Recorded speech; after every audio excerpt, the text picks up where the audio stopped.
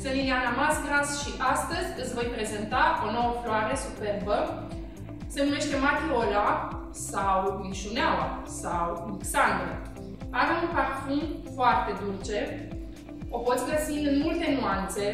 Eu am aici un roz pal, alb, dar o găsești și mai multe nuanțe de lila, de mov, somon.